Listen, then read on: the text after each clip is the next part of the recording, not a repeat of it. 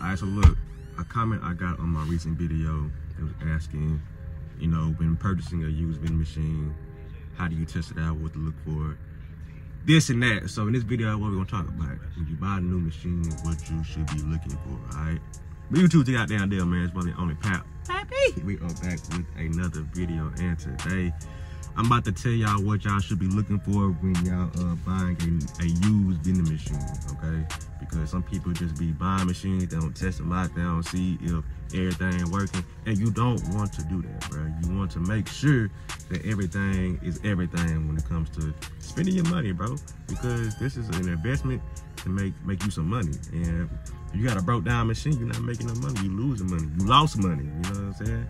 And you're gonna continue to lose more money till I get that mud fixed. All right, so this is what you should look for when purchasing a used vending machine.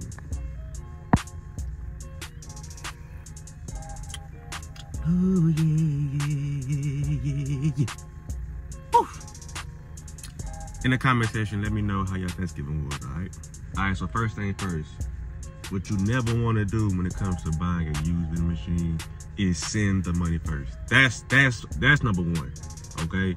Uh, a, a, lot of times people be lying and they try and get the machine sold, so they'll ask you for a deposit to hold it. Hell no. If it's been sitting, if it's for me, it's for me. If it's not, then it is what it is. But I'm not sending you no money without uh, me putting eyes and hands on it. All right. So that's number one. Number two, what you want to do is once you're at the uh, machine, uh, push it. See if it's 30 see if it's uh off balance. You know what i'm saying? See why it's not standing on all four legs i should say. You know what i'm saying? And see if that can be fixed. So me i'm gonna push it i'm gonna shake it. I ain't gonna shake it. But i'm just gonna make sure it's it's, it's a sturdy machine. Because what you don't want to run the risk in is a machine potentially falling on somebody because it's not sturdy. All right, so you know what I'm saying? Just do a little light little push, make sure everything's everything, and then you should be straight. You want to test out all the buttons. You know what I'm saying? You want to hit every button. Usually machines make a little beep noise when you press the button. So you want to you want to press all of them a, a few times just to make sure everything is working when it comes to the buttons. You want to uh, also want to hit the button that like dispenses change. We want your money back. A little, it's usually a gray button or, or gray or black. So you want to hit that change button. I don't even know what that button's called, but hit the change button. Make sure that works.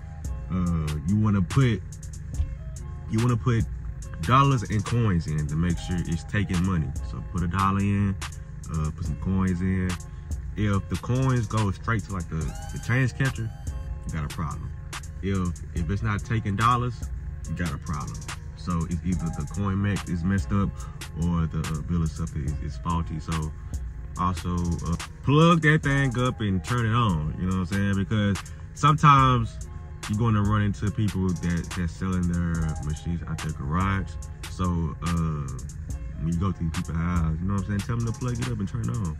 You know what I'm saying? If they don't want to do that, that's a red flag, big dog. Test out all the motors, all the coils, uh, the drop sensors most machines nowadays they have drop sensors and what that means is you know how back in the day when your chips get stuck you either gotta shake the machine make the chip fall. Now nowadays since the machines got drop sensors if that sensor don't catch that the snack has fell it's gonna push the the coils are gonna spin until that that snack fall and it hits the drop sensor. So make sure all those are working. Make sure ain't no type of water leak man uh, check out that compressor Make sure the machine is getting cold if it's a, a drink machine or a combo machine. Make sure the locks work properly. Make sure the door closed properly.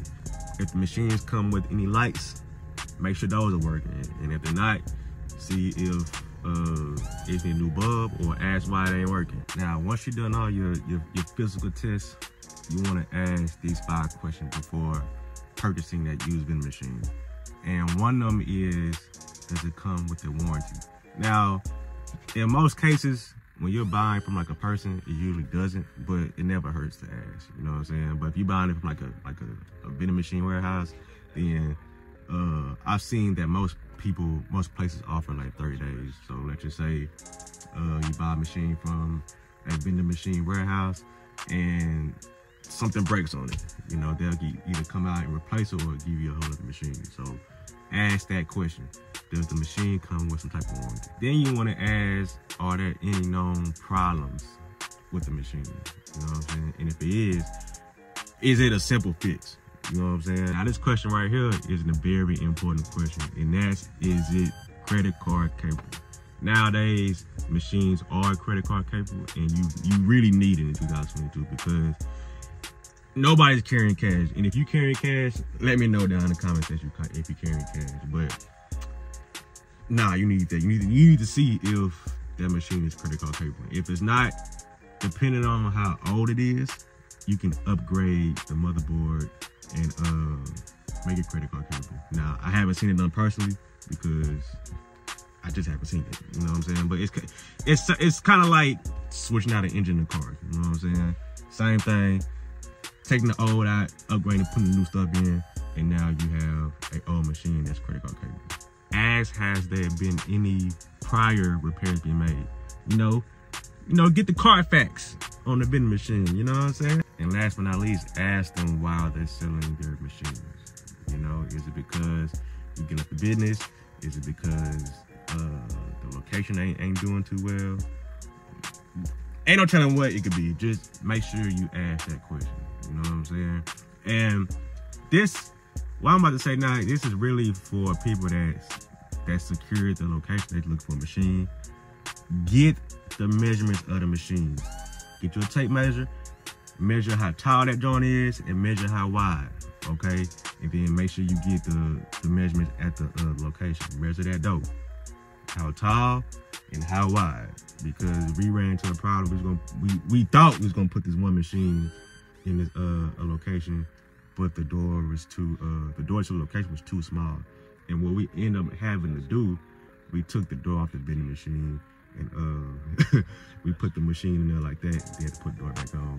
So to to not go through that pain and them troubles, measure the machine, bro. Please. If you don't if you don't get anything else out of this video, make sure you get the measurements of the machine. Alright? Because you don't want to get no big machine for no small space. You know what I mean? So that's a wrap for this video. I hope y'all learned something. Y'all did. Drop a like, subscribe to the channel and uh, drop a comment down below. Let me know what y'all thinking, what other questions y'all have, and I'll catch y'all next video, bro.